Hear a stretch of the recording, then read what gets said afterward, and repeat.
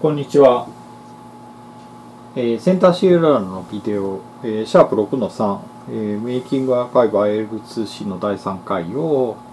えー始めたいと思います。よろしくお願いします。えーと、もう、えーコードをいろいろ書いていたので、えーいきなりコードの方からいきますね。で、えっ、と、前回書いたコード、えっ、と、ちょっとだけあの、プロジェクトを作り直して、で、あの、GitHub に上げておきました。まあ、こうすれば、あの、え見てる方は試すのも、あの、楽にできるかなと思って、えっ、と、上げてあります。えー場所は、こうですね。私のあの、リポジトリの下に IL2C っていう、あの、リポジトリ作ってあるので、まあ、そこをあの、見てもらうと、えっと、今ですと、シャープ6の2っていうことで、最初のコミット、まあ、プラス後でちょっとライセンスファイル足したんですけど、これはあの、Apache V2 なんで、まあ、あの、基本的に何でもやってくださいみたいな、あの、そんな感じになってます。ので、あのーちょっと試してみたいなと、あの、いじってみたいなという場合は、まあ、これを、あのークローンしてもらえれば、あの、すぐ試せるかなというふうに思います。えっ、と、環境の方は、えーとりあえず今は、えーっとですね、今は、えー、ドットエンドフレームワーク4クライアントプロファイルでやってます。なんで、あの余計なしがらみはいろいろ、あの、入ったりしないはずというような感じで、あの、やっていきます。まあ、これこの後どういう風になるかっていうのは、まあ、その時おいおい、あの、変える必要があれば変えるとか、まあ、そういうような感じで、あの、進めたいと思います。で、えっ、と、昨日の、えっ、と、前回の時点でですね、えっ、と、デコーダーですね。基本的なその IL のデコーダーが、まあ大体、あの、でき、できたよね、と。まあちょっとここのオペランドタイプに応じて、あの、分岐するところっていうのは、あの、このショートインライン BR ターゲットにしか対応してないですけど、まあこれはあの、埋めていけばいいだけのことなので、それも数もそんなべらぼうに多くないので、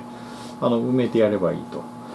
いうことで、なんか基本的なデコーダーできたんですけど、ちょっと、この、このすぐ後やることとして何があるかなと思ったんですが、えっ、と、ローカルズですね。あの、ローカル変数の情報が取れているので、えっ、と、こいつをもとに、まあなんかもう、いきなりですね、あのー C のソースコードをもどき、まあ、あわよくば C のソースコードとして実際にコンパイルできる出力を、まあ、ここでちゃちゃと出せたらいいよね、というような感じで考えています。で、えっと、その前にですね、あの、今これ、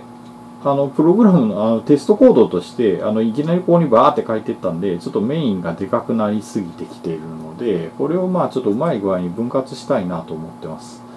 で、まあ扱いやすくするのに、えっと、まあ例えば、そのメソッドインフォですね、メソッドの情報を与えたら、そしたら、その、えー対応するオップコードのリストと、それからオペランドの値ですね。オペランドの値あればですけど、っていうのが列挙できるような、そういうイテレーターを作っておけば、まあ、完全にこう、アルゴリズムとして分離できるということで、まあ、そんな感じでリファクタリングをちょっと先にやっておきます。で、形としてはですね、まあちょっと、それをまだあのプロ、プログラムクラスの横に同居させます。あの、おいおいあの分離していくことになるかなとは思うんですけども、とりあえずここにあの、ちゃちゃっと置いて分分割しますね。形は、こんな感じかな。まあ、スタティックなので、プライベートスタティックはそうですね。ダイナメラブル、あ、間違えました。ダイナメラブルの、えっ、と、ここが、えー、ちょっととりあえずですよ。タクル、オフコードと、えっ、と、オペランドの任意の値ですね。まあ、任意なんでちょっとオブジェクトになっちゃいますけど、任意の値を、こう、列挙できる。こういうような、あの、型を返す、えー、えー、なんて言ったらいいのか。えっ、と、デコーダーですね。えー、イナ、あ decode and enumerate opcodes みたいな感じで、えー、受け取るものがメソッドインフメソッドインフォを与えればそのメソッドに定義されているボディがこうデコードされてですねあの列挙できるようなそういうイテレーターをまあこんな感じで作っといてこれを返すみたいな感じにしますか。でえー、っとメソッドのそのメソッドインフォはここで取得してるんですよね。だから内容としてはここ以下の処理がみんなあそこへ移動するイメージです。ちょっとローカルズとかその辺がどうなんだっていうのがあるんでまあそれはあの、えー、と必要に応じてまた再分割したりとかすればいいかなと思うんでとりあえずあの機械的にこんな感じでこっちの方へ移動します。で、えー、とメインメソッドかどうかはもうわからないので、えー、と与えられたメソッドインフォからえー、全部抽出する感じにします。でここであのオプコーズが必要だっていうのが分かりますね。なので、えっ、ー、とこいつはですねえっ、ー、と外へ出してえ、プログラムクラスのタイプイニシャライザーとして外へ出してで、えーと、オプコーズの方がディクショナリの U ショートオプコードなのでこれを定義しておきます。デ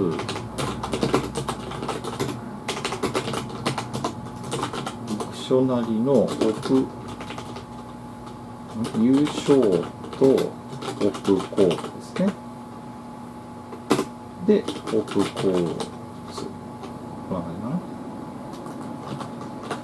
な。はい。これであの、 type initializer なんで、このクラスにアクセスしようとしする、したとき1回、1回だけ、えーと、これが走り、 opcodes 辞書が作られます。で、えっ、ー、と、こいつを使って、えっ、ー、と、デコードの実操作をします。いい感じですね。で、えっ、ー、と、今、 Console WriteLine で、あのこれ、出力しちゃってるので、画面に。そうではなくて、イテレーターとして返す。フyield return、Tuple、Create、えっ、ー、と、 opcode と operand ですね。こんな感じですね。なんでエラーが出、あ、そうですね、オブジェクトだからですね。これじゃあまあ、オブジェクトで受け取ることにしましょう。こんな感じですね。で、こっち側も、デフォルトの方も、えっ、ー、と、 yield return で返すんですが、これオペランドないので、まあ、ヌルで、まあ、とりあえずちょっとごまかしとく感じ。あ、クリエイトではできないですね。こういう感じですかね。あー、もうちょっと言うなら、こうしときますか。は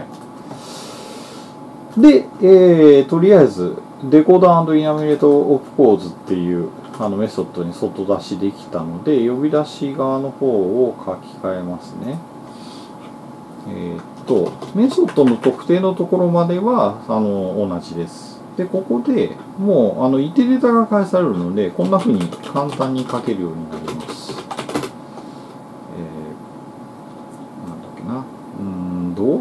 名前のものまあやっぱりタプルじゃなくて何かちょっと工夫がいるかなと思いますけど、まあ、今あの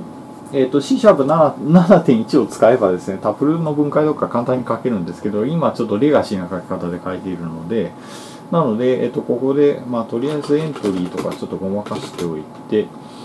で、えっ、ー、と、さっき作ったメソッドを、このメインメソッドに対して、呼び出すみたいな感じにするとちゃんとデコードされた状態でですねオプコードとオペランドの対がエントリーに一個一個あの最適なこう取り出しやすい形で取れてくると。あ非常に扱いやすい感じになってますね。でやりたいことは、えーと、コンソールに出すので、えーと、元の通りにするんですよ。あのとりあえずリファクタリングなので元の通りに動くようにしたいのでえっ、と、こんな感じで、えっ、と、エントリーのアイテム1、エントリーのアイテム2、ただし、エントリーのアイテム2は、まあ、ヌルの可能性があるので、まあ、ちょっとこんな感じで、えっ、と、こう、こう、うん、どうしようかな。そっかそれじゃいいかんですねうーんあちょっとあれですけど、え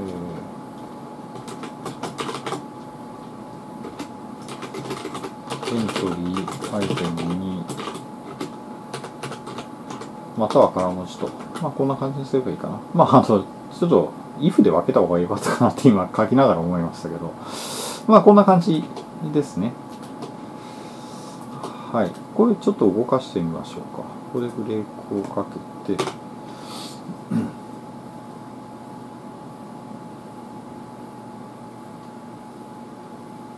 はい。えーと、とりあえず例外は出なかったですね。で、えーと、出力の方も、えー、元通りですね、えー、最後 BRS のところのレコードもちゃんとうまくいっているので、えーと、これで良いと。はい。いい感じですね。はい、で、えーと、リファクタリングが、えーと、できたのでちょっとないですね一回コメントしておきますねあの私はあのソース3に慣れてるので、えーと、ソース3でやりますえっ、ー、とえー、コマンド i の Git であのもちろんやってもらってもいいですし、ビジュアルスタジオのあの Git の拡張でやってもらってもあの構わない。どういう方法でやってもらってもあの問題ないと思います。えー、リファクターと。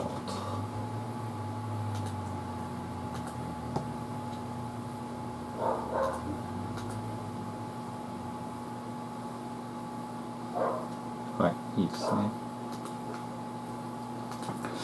でですね、えっ、ー、と、まあ、これで、あの、綺麗に、あの、分割できたので、あの、要するにデコーディングアルゴリズムと、えっ、ー、と、それを使って何かをするというところの、あの2つに綺麗に分割できたので、まあ、多少やりやすくなったかなと。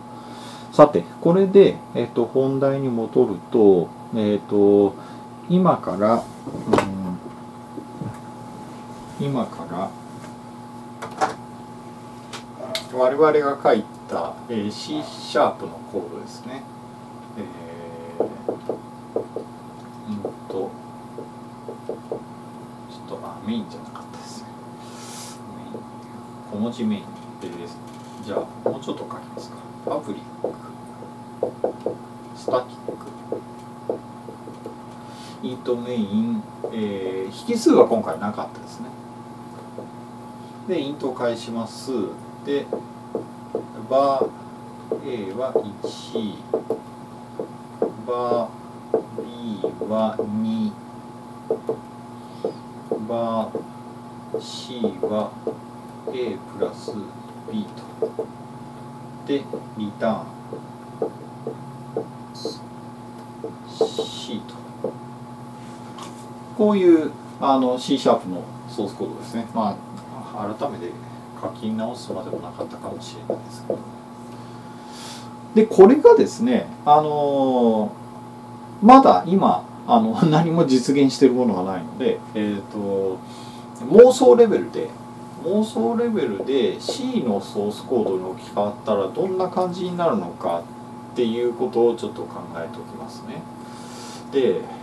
えっ、ー、とまあ最近あんまりね C++ のコードとかも書かないのでちゃちゃっと書けなくなってきてるなと自分でもちょっとあの驚きというかですねびっくりしてるんですけど、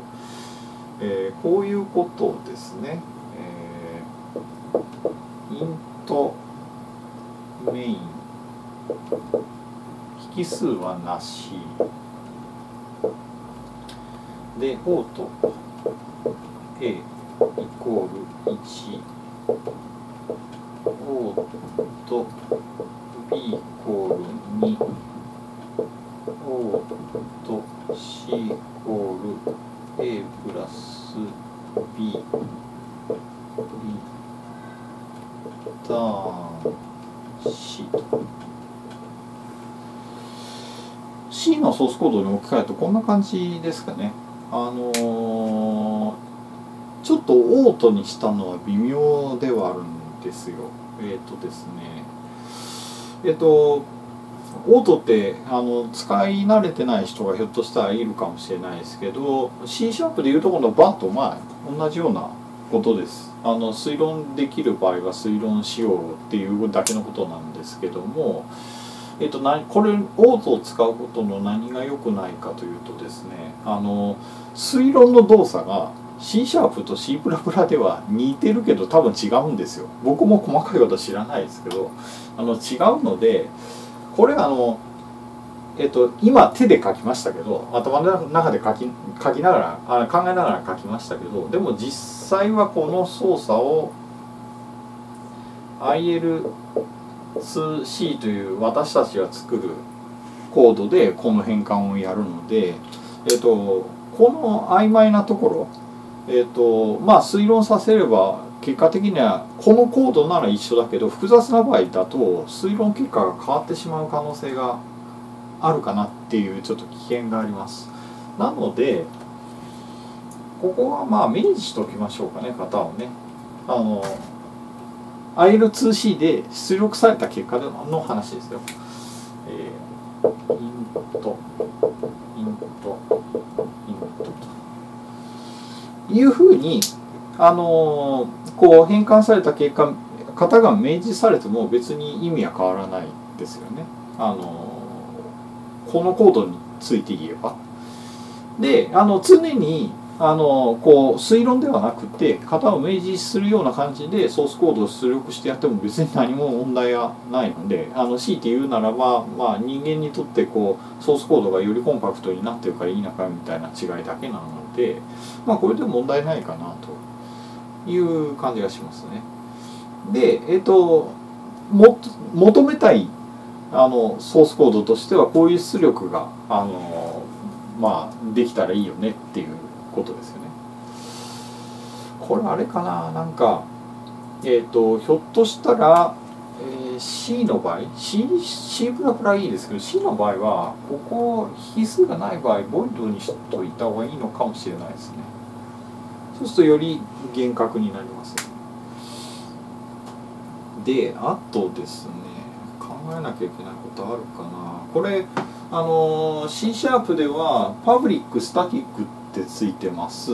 で C はオブジェクト指向ではないので、えーと、C シャープでいうところのこのスタティックに関する意味はあのに相当するものは基本的にないないんですよ。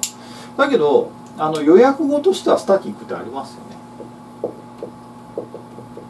でこう書くとどうなるかというと,、えーと、ファイルスコープ内ですね。ファイルスコープ内でのみ有効になるまあしかもあの前方参照はできないので後方参照だけですけどあの違うか？前方参照前方参照だけができるのか。まあいいや。えーと、とにかくまあファイルの中だけのスコープとして有効になりあんまあのクラスとか何もないですよね、まあ、構造体はありますけど、えーと構造体のメンバーって基本的には持てないので、えー、あの関数メンバーは持てないのでなので、えーと、スタティックっていうのの意味はまあまるで違うと。なのでまあ今回は、えーと、このスタティックについては特に何もしなくてもいいんじゃないかなと今のところはいいんじゃないかなという気がします。であと,、えーと、パブリックについては外から見えるかどうかですよね。この外から見えるかどうかの定義もまた難しいですよね。あのこれはえーと、C シャープのコードでいうとこの外側にあるクラスですねクラスの宣言の中にあるこのメンバー、えー、メソッドとして見えるかどうかっていう意味なんですけど対応する C シャープの概念は全くないですよね。えっと、今後考えていく上でそのいつかの段階でクラスに向き合わなければいけないんですけど要するにクラスをどうやってあの C, C 上で実現するかということに向き合わなきゃいけないんですけどその時に改めて考えなきゃいけないかなっていう気がしますなので今は非常に曖昧でパブリックって書かれてようがインターナルとかプライベートとか書かれてようが全部パブリックというかですね。参照可能な感じで出てしまうんですけどとりあえず今はそれでいいってことにします。あのそれを考えなきゃいけない時にあの改めてどうすればいいかっていうのを考えたらいいんじゃないかなと思ってるので今はちょっとそそれについて省こうと思ってます。でまあこんな感じで出ます。でこの時に、えーと、どんなことが問題になるかなんですけど、えーと、私たちはこの C シャープのコードを見て C のコードを出力するんではないんですよね私たちというか IL2C は。IL を見て IL から C のソースコードを生成するなので今この矢印書きましたけどこんなダイレクトな変換ではなくて実は、えーと、IL の世界があり、えーと、ここにもちょっと長いので書かないですけどあの昨日からずっとあの前回からずっとやってる IL のあのコードがありこいつからこいつへは、えーと、C シャープのコンパイラー CSC ですね。CSC エグゼ、えー、ロズリンですけどロズリンが、えー、IL に、えー、コンパイルしますでもここから、えー、こいつへの変換を、えー、IL2C がやるわけですよねなのでえっ、と実はこの通りに出力できるかどうかは微妙なんですよね。えっ、と、えー、ずっと見てもらった通りその IL の命令をあの眺めてもらうとそうすると最終的にはこんなことをやってるんだろうなっていうのは人間の目で見るとなんとなく想像できるんですけどこれと全く同じものをこの IL の命令群から再度組み立て直すっていうのは結構難しい。あの最適化もかけないといけない。あある程度のね。しひょっとするとこのロズリンがあのこう気を利かしてですねあのちょっとちょっとした最適化をこの IL に変換する時してるかもしれない。そうするともともとどんなソースコードだったかっていうのを伺い知るのは難しくなるんですね。これだけ見てると。であのアプローチとして IL2C、まあ、IL2C って名前が付いてるかもう IL からなんですけどそうではなくて別のあの方法として考えられるのがロズリンですね。ロズリンのパーサー使って、えーと、C シャープのソースコードをその、えーと、AST ですね。あの構文機に変換した後その構文機を見ながらこのソースコードを生成するっていうことももちろんできるんですけどそっちはそっちでね結構茨な道だと思うんですよ。構文機のその機能種類というのがものすごいたくさんあるのでそういうののその組み合わせですね。こうあのこう論理的に構築されてその組み合わせがと破綻なくえーと、変換できなきゃいけないしかもそのあの構文機をこう解析しながらあの見なきゃいけないっていうのは多分ね IL をね解析して出すよりも難しいような気がするんですよ別の意味で。まああのそっちあの興味ある方はあのロズニンのそのパーサーのところからあの調べてもらうとはなんか一応できそうだよねっていうのは多分分かるんじゃないかなと思います。ですがまあ今ちょっと IL2C ということなので IL に集中しますけどそういう理由でもともと C シャープのソースコードとして書かれたものがあの1対1でまさに今これ完全に理想的な状態ですよね。ほぼ1対1で変換されされてるんですけれどもまあこんな感じで変換するっていうのはちょっと事実上難しいかなと思ってます。その一番の理由がですねあのローカル変数ですね。えっとドットローカルズっていう、えー、IL スパイで IL スパイでちょっとファイルにしますねで、えーと、前回見てもらった通り、えーと、ローカル変数の定義ってここのローカルズにあります。で、今のコード上も、今こうちらっと見えてますけど、このローカルズに、えーと、その情報が格納されてます。で、まあなんか4つありましたね、みたいなことまで確認できてるので、ローカル変数について、えっ、と、すべてのローカル変数の情報はここから取れてるわけですよね。ところが、えっ、と、実際のところ IL 上でこのローカル変数それぞれがどこで使われ始めてるのかとかいうのがちゃんと認識できないとこの C のソースコードに落とした時に何行目で使われてるとかいうのが何行目から使われてるというのがはっきりしないんですよね。えっ、ー、とまあコードで見た方が早いかななんか、ね、どういうことを言ってるのかというとちょっとえっと、ちょっとこれをですねもうちょっと冗長な形で書き換えますね。えっとまあちょっと宣言は除いてイント A イント B イント C そしてイント。ちょっとあの4つあるんですけど最後の1つ名前がついてないんで仮に D としておきますね。はい。で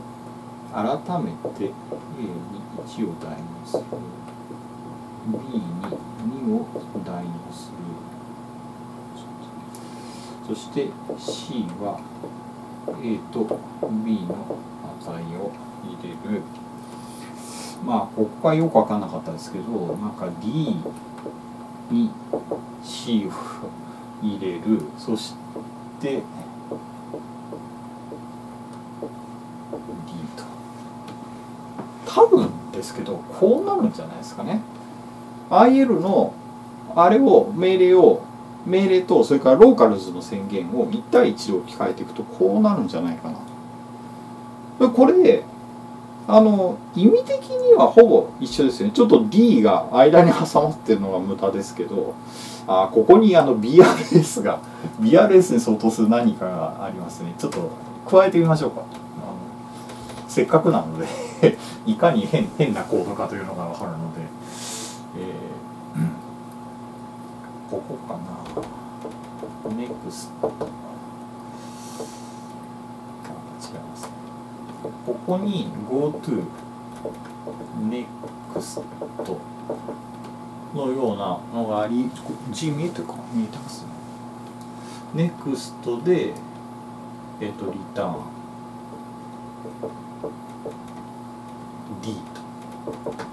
こんな感じですかね。はい。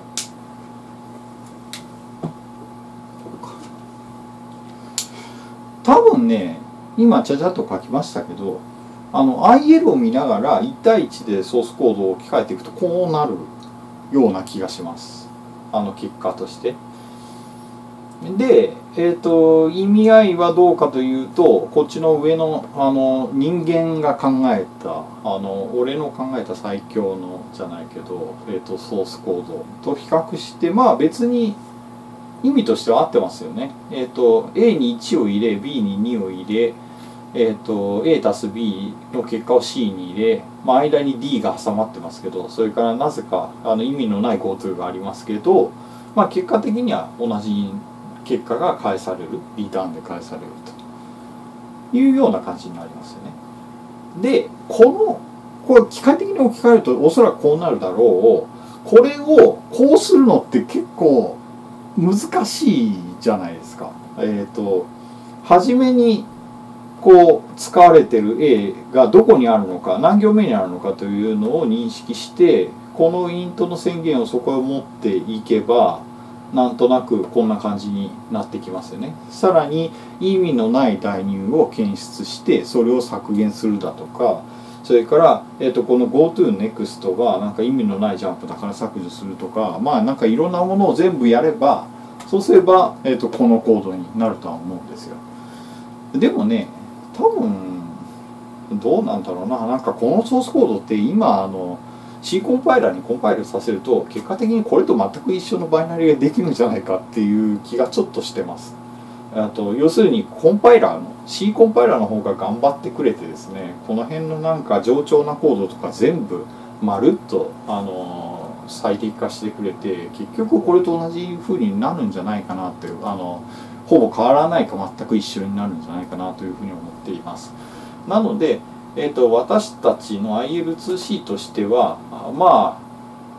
あの頑張らなくてできることは、まあ、やってみてもいいかもしれないけどもまああのこういうようなことはですねあの人間がこのソースコードを見たちょっと読みにくいですけどまあこれでもいいというふうにあの考えることにしますね。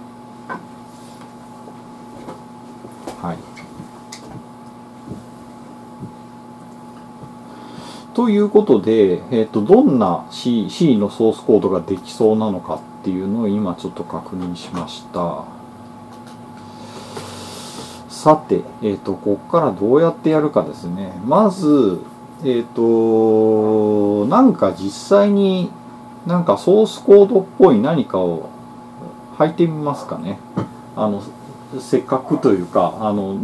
出るとちょっと気分が違うじゃないですか。なので、えっ、ー、と、出してみましょうか。で、えっと、まず関数の名前ですねメインっていう関数についてはこのメインメソッドから取れるという話を、えっとえっと、メソッドインフォでメソッドインフォから取れるって話をしましたなので、えっと、イメージ的にはこんな感じですね。あの最終的にはファイルに出したいですけど今はまあちょっと簡易的にコンソールに出してしまいます。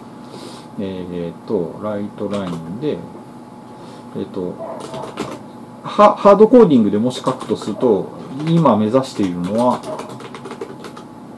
まあこここんな感じですか。えー、イントメイン。で何かボディがきっとここの中のあの for each のループで出力された後こんな感じ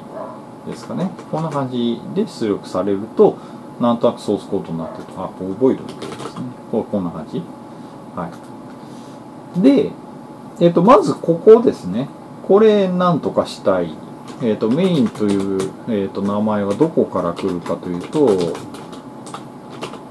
メインメソッドのメソッドインフォのネームにアクセスすると、えっ、ー、と、その、えっ、ー、と、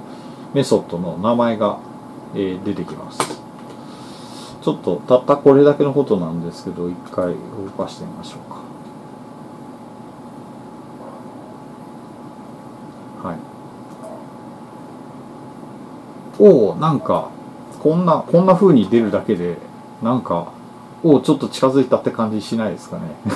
しないか。まあこのボディがね全部 IL なんだよね。はい。こんな感じですよね。はいじゃあえっ、ー、とこれは、え止めまして。で、えー、次にですねこの戻り位置の方ですね。これ今イントってなってます。で戻り位置の方も当然あのメインメソッドから取れるのでこれをちょっと出してみましょう。こんな感じで。メインメソッドのうんとリターンタイプというあのプロパティがあります。はい。でえっ、とこいつのあまあここれだけとりあえず出しましょうか。これで出すとリターンタイプがイントなのでここにイントと出るかなと思うんですがまあちょっとことはそう簡単ではなくてですこんな感じに出ますね。えー、よいし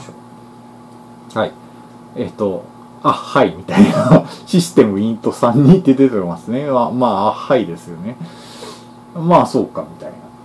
そうそう。えっとですね、あの、これから、あの、徐々に、その複雑な型をサポートしていかなければいけないんですけど、今扱ってるのはプリミティブまあそれもイントですイント32に相当するものなんですがここで重要なのは C シャープという言語上で、まあ、あるいはドットネット環境ですねで認識されるそのイントというものの型とそれから C, C でいうところのイントというものにどのような互換性があるのかないのかあるいはそもそも型があのあるのかないのかみたいなことをあの考える必要があります。で今一番簡単なパターンですよこれ。あの、えっ、ー、とイントなので、えっ、ー、と両方にイントっていうものはあります。じゃあまあそのイントっていうのはちゃんと互換性のあるものなのかっていうのをちょっと検証する必要がありますね。で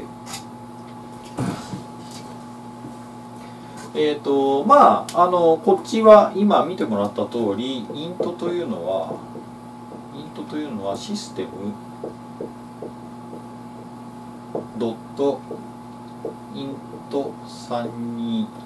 という型です。えっ、ー、と、これ構造体ということになってますね。で、えっ、ー、と、これはですね、この1対1の対応付けっていうのは、まあ、C シャープがやってます。えっ、ー、と、明示的にシステムドットイント32と書いても、それはあのいわゆるイントとして扱われます。小文字でイントと書いても、インあのイント32、システムイント32として扱われますと。でこれの実態は何かというと,、えーと、32ビットの整数ですね、えー、32ビットっていうのは4バイトなんですけど、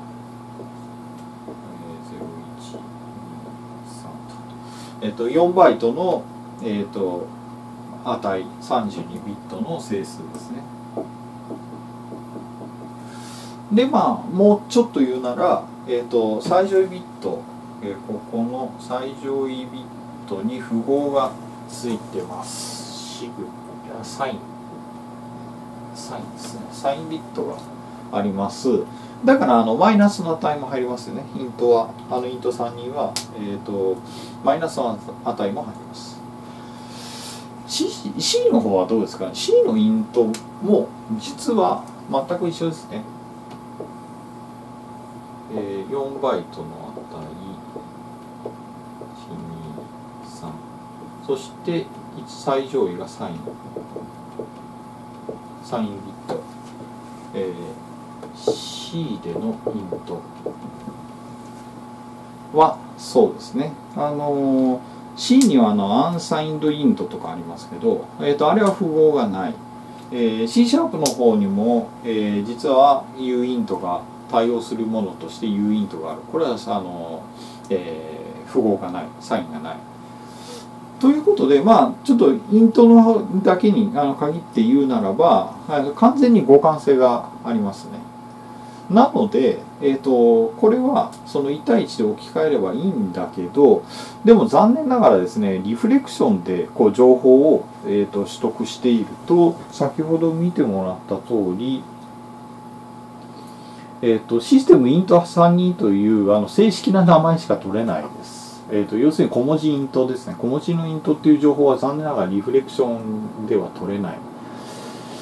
でなんでかというとこれ C シャープの都合だからです。C シャープが自分でその小文字イントって書かれたらシステムイント32と置き換えてるのでそれ C シャープのコンパイラーっていう世界で閉じている話なので、えーと、そういう面倒はドットネット自身は見てくれないですよ。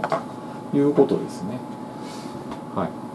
じゃあまあそれ言い換えるとですねもうどうしようもないのであの何かこうプログラマーにやる方法っていうのは残念ながらないのでもうこれは機械的にハードコーディングで置き換えていくしかないです。で一体そういうものがどれだけあるのかっていうことはあるんですけどそれはあの C シャープの、えーと、予約語というかですねそのキーワードのリストが確かあってちょっとどこにあったか覚えないんで出てくるかな。C シャープの予約語とかで出るかな？ああ、未確認さんのページありますね。ああ、こんな感じで、えー、っと、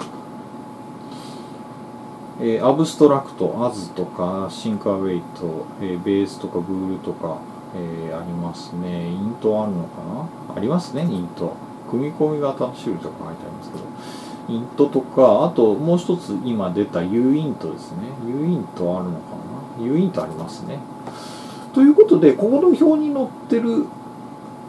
ぐらいは、ひょっとしたら、えーと、何らかの形で、えーと、ハードコーディングで、このワードですね、こういうのが現れたら、こうするみたいなことをする必要があるものがあるかもしれないですね。はい。えー、ので、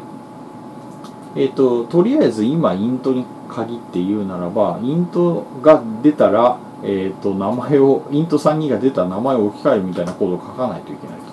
ちょっとここに試しに、えっ、ー、と、本当にベタですけど、書いてみますね。リターンタイプネームイコール、えっ、と、リターンタイプが、これあの、リターンタイプはタイプクラスのインスタンスなのでこれがあのタイプオブで取得できるインスタンスと比較できます。でイントですね。えっ、ー、ともうちょっと分かりやすく書くなら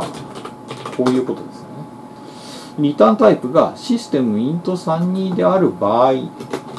は小文字のイントと出ると。そうではない場合はメインメソッドとそうでない場合はえっ、ー、とフルネームはあメソッドが違う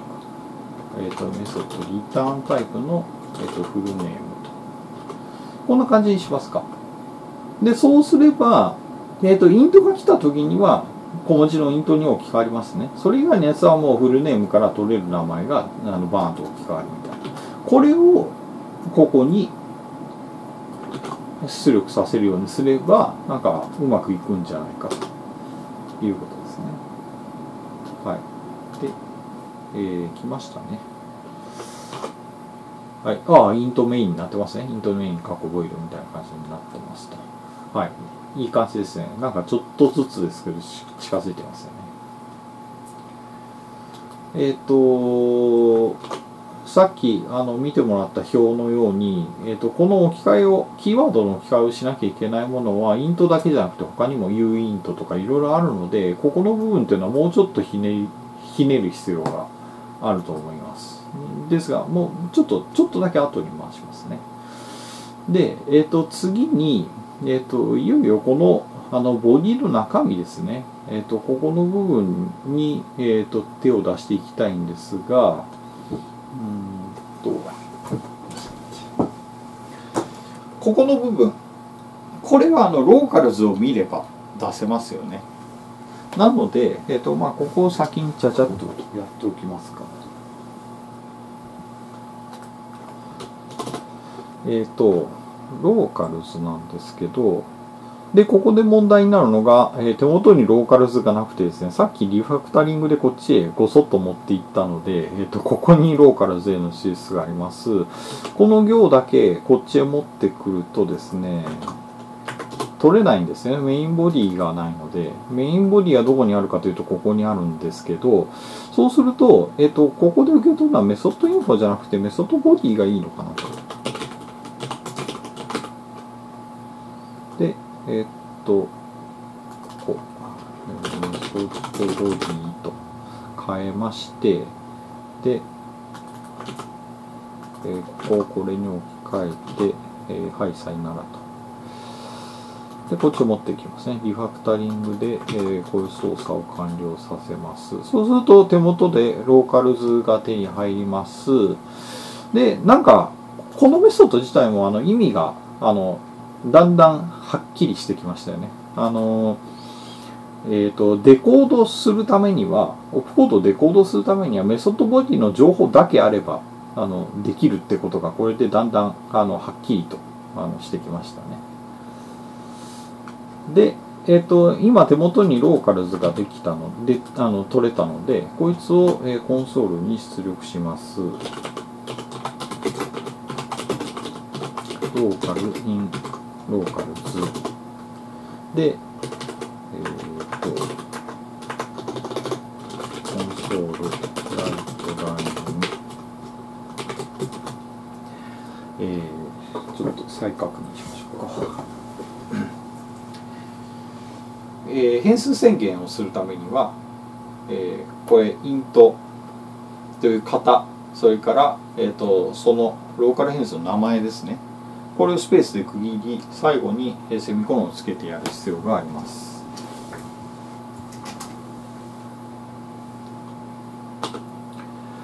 はいのでまず、え片目がここに来るはず。それから、えローカル変数の名前がここに来るはず。そしてセミコロン。こんな感じですね。で片目なんですけどローカルの中に、えーとローカルタイプ。というのがあるのでこいつを出力すればいい。それから、えーと、名前がですね、えーと、第2回で説明しましたけど残念ながら、えーと、このローカルズのリフレクションの結果からは名前が取れないんですよ。で仕方がないので、えー、とこれローカル、えー、ごめんなさいローカルインデックスというのがあります。これはあのそのインデックス番号ですね。あのインデックス番号に相当するのでまずこの番号は取れる。でも数字だとですねここが要するにこうなるみたいな感じですね、えー、例えばイントの1とかになってえっと、これでは構文としては問題があるので例えばもうお茶を濁す感じでローカル1とかまあこんな感じになってくれればとりあえずすべてのローカル変数は識別できますね。あの分分あのえっと別々のものとして識別できるので、えー、0で1と。こんな感じになればいいですかね。はい。で、えー、っと、えー、これですね、デコード、さっき引数変えたので、えー、っとボディ情報を渡すようにしますと。こんな感じでどうですかね。一回走らせてみましょうか。あちょっとその前に、えー、とここ開けておきますかね。1行ちょっと開業しておきます。そうするとあのローカルが分かりやすいで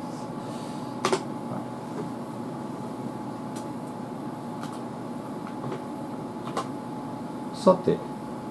どうですか？ここが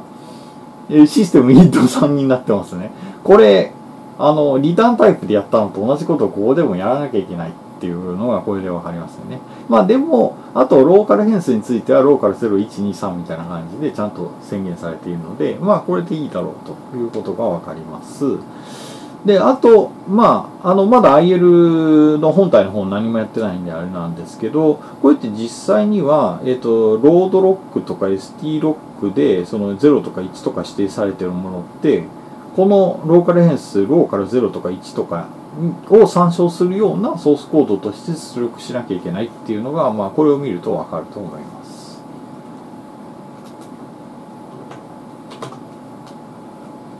はい。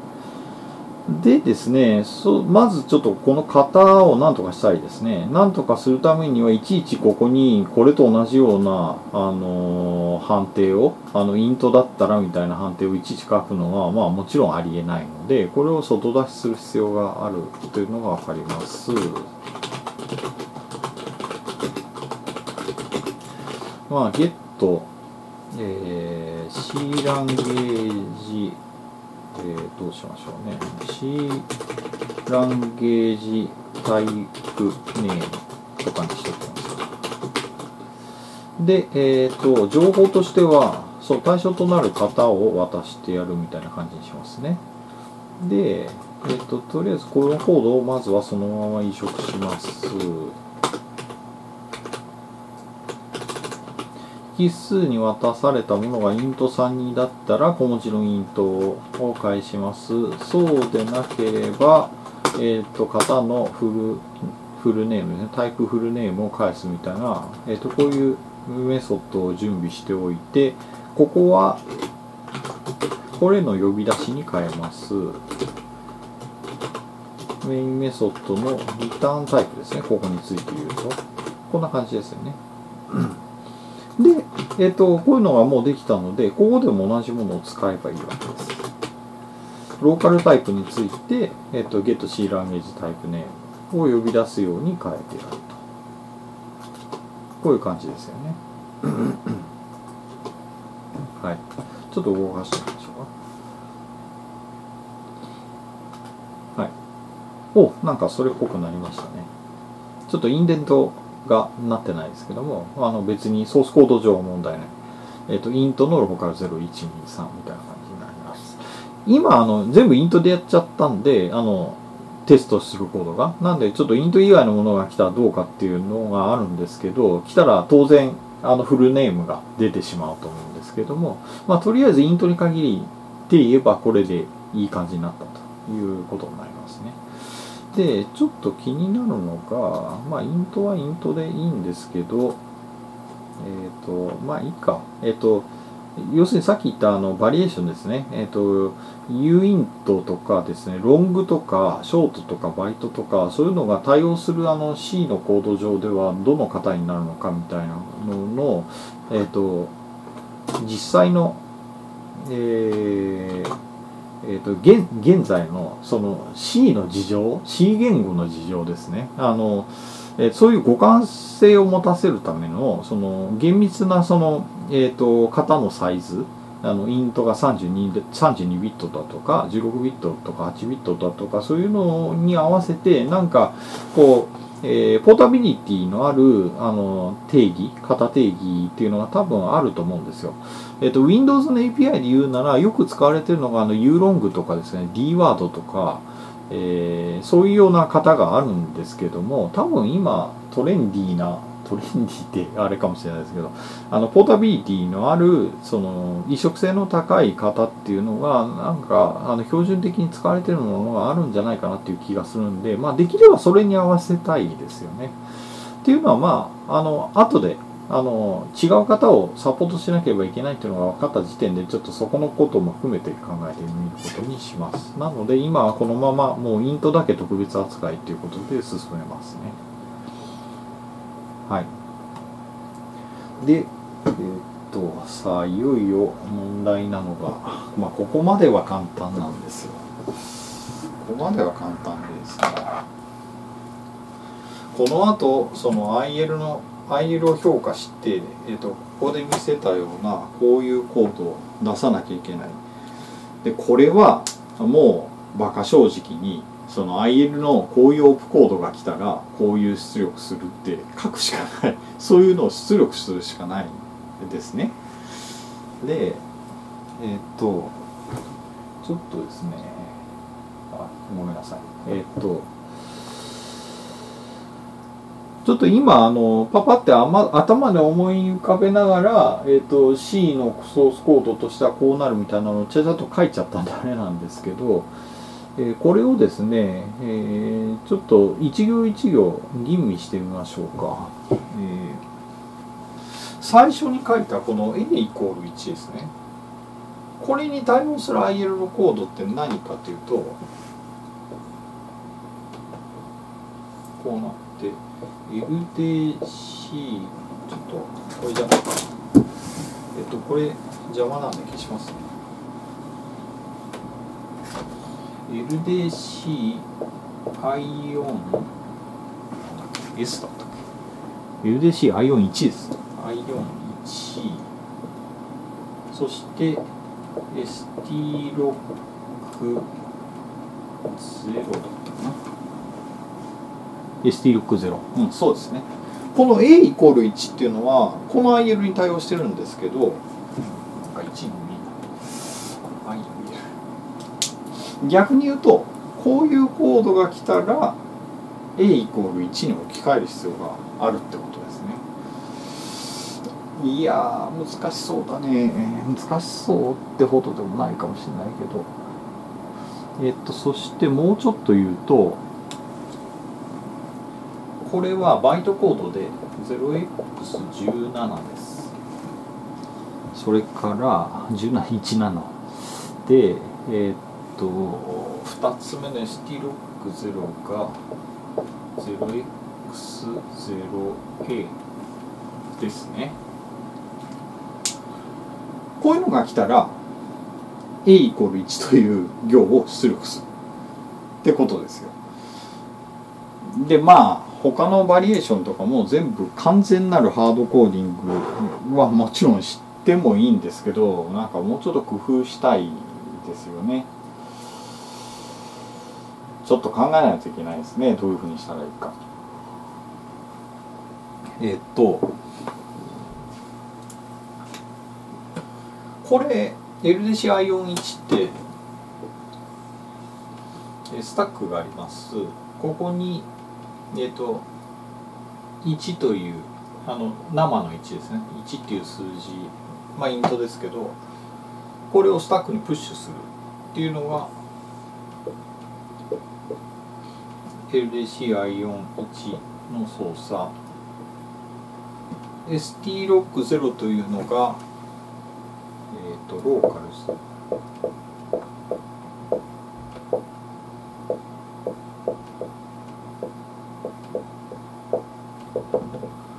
ローカルズのミート。ミート。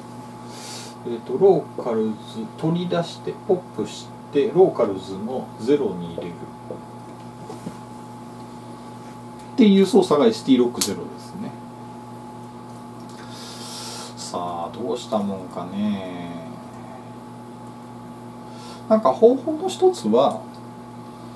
うん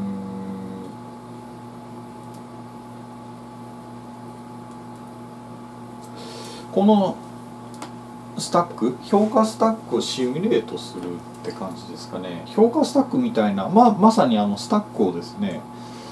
あの、今やってる操作のところにあのあのスタックとしての入れ物自体本物も本物の入れ物を用意しておいてで LDCI41 ってなったら実際にそのスタックに1って値を入れておいて STLOCK0 が来たところでえーと、この値を取り出してローカルズに入れるっていう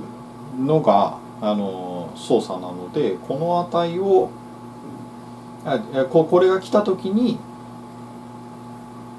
この、えーと、インデックス0ですね。A ではなくてまあローカルローカル0なんですけどローカル0イコール、えっとあ取り出した値みたいな感じの、えっと行を出力するっていうのがまず一つ考えられるかな。でもそれだとダメですね。なぜかというと1だとあの分かるんですよそれで。あのこれってあのたただの数字なんで。だけど別の変数から代入された値とかそういうのだともう分かんないですよね。何が入ってるのかそれ実行時にしか分からないので分からないと。ああ結構難しいですね。ちょっとちょっと考えたいにしようか ちょっとビデオ切りますね。